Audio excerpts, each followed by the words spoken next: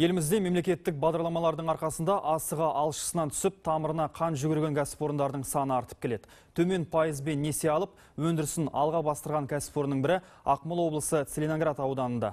Тілші тарқатып айтсын. Еңбектің көзін тапқан байлықтың өзін табады дейді Асхат Оразалиев. Ол оқуды бітіріп бірден осы кәсіпорынға орналасыпты. Еңбегі жемістінің өмірі келісті болатыны айтқан ол жоспарларының ауқымды екенмен бөлісті. зарплатамыз уа- уақытымен кешіктірмей беріледі елбасымызға рахмет айтам қазір халықтың жағдайы жақсы болашақтағы арманым осы шетелге барып білімімді жетілдіргім келеді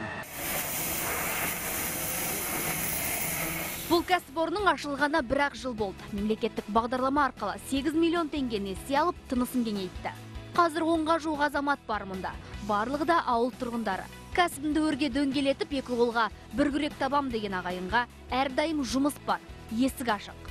Себебі кәсіпкерлер тағы мемлекеттік бағдарламаның шапағатын сезініп, несие алмақ ниетте. өзімізде шығарылған өнімдермен шетел өнімдерін әкелмей ақ э, құрылыс салсақ деген ойдамыз алдағы уақыттағы ойымыз осы кәсіпорынды кеңейтіп мынау жақынды алысты шетелге шықпақшы ойдамыз Өзгенің өнімін таңсық еткенше өз өнімімізді артық етеміз деп отыр кәсіпорын басшылары. Мұнда алғашында небәрі 4-5 есік қана шығарылған. Қазір оның саны 30-ға жетті. Бағасы да басқалармен салыстырғанда 6-7 пайызға арзан.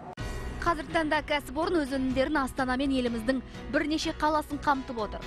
Екі айдан кейін тек есік емес, үй жиһаздары мен балабақшаға арналған жабдықтар шығару көзделуде.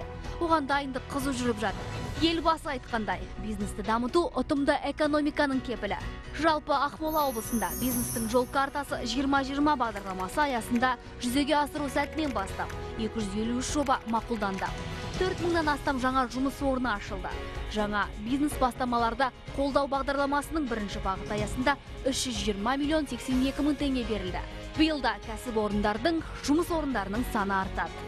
Индира Бегайдар, Дидар Елеу, Қазақстан ұлттық телеарнасы.